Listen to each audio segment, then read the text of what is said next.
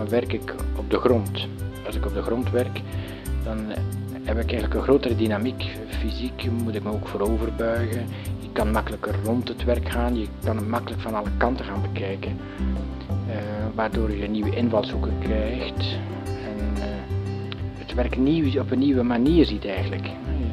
Want als je lange tijd naar een werk, uh, aan een werk aan het, aan het mee bezig bent, mee aan, aan het aan het worstelen bent eigenlijk, dan uh, heb je op een bepaald moment ook geen zicht meer erop. Alles uh, is gezien, je ziet de opening niet meer. En als je dan natuurlijk rondom kan stappen en eens van een andere kant bekijken, zonder dat je er altijd een paneel moet gaan optillen, gaan draaien enzovoort, is het veel gemakkelijker om op de grond te werken. Dus zoals ik een collage maak, dat ik eigenlijk vooraf geen vastgelegd verhaal of een scenario heb. Het hangt echt wel af van de stukken die ik uh, voor me liggen heb, die ik uitkies. En kan het gebeuren dat bij mij ergens een, associatie ontstaat met een idee, met een verhaal en dat volg ik dan meestal. Het is ook zo dat het verhaal soms met mij op de loop gaat en dat ik moet gaan terugnemen. Dat, het, dat ik misschien soms te veel wil vertellen, of toch naar mijn gevoel terug, uh, een stap terug doen, zeg maar, een stuk gaan verwijderen, om tenslotte tot een overzichtelijk uh, geheel te komen. Een, verhaal te brengen dat uh, verder ook voor het grootste deel althans toch door de kijker zal aangevuld worden. Ik houd van karton en van papier en van karton in zijn vele voorkomende materies. Ehm, karton kan verschillende aspecten hebben en ook vooral de vormen. Dan heb ik het vooral over de verpakkingskartons die mij sterk aantrekken. De vormen zijn vaak geometrisch, hebben een functioneel uh, bedoeling, terwijl ze ook esthetisch kunnen zijn.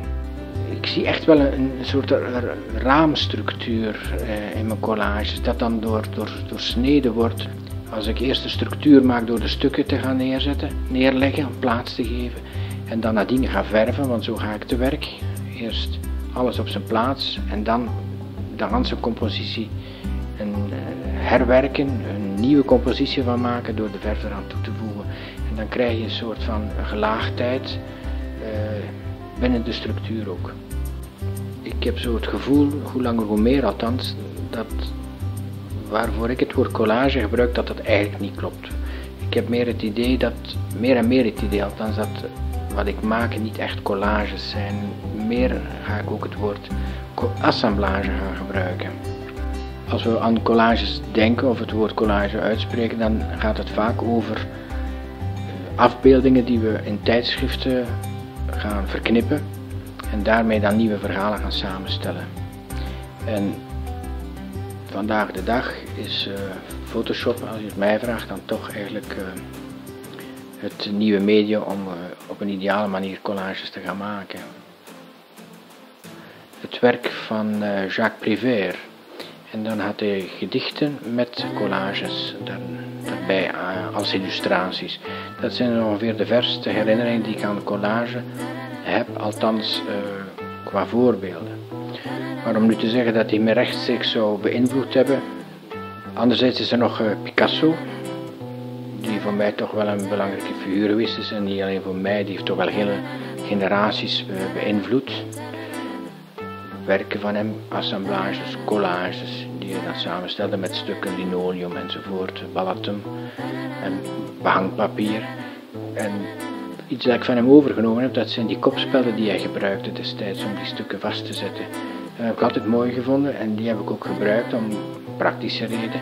En heb ik ook meestal laten zitten nadien in, de, in het eindresultaat. Vroeger heb ik nog overwogen om ook sculpturen te maken van mijn collages.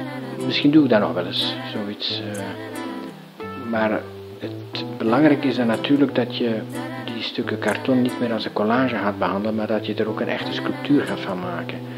Ooit zei iemand mij eens dat mijn collages aan Doolhoven deden denken.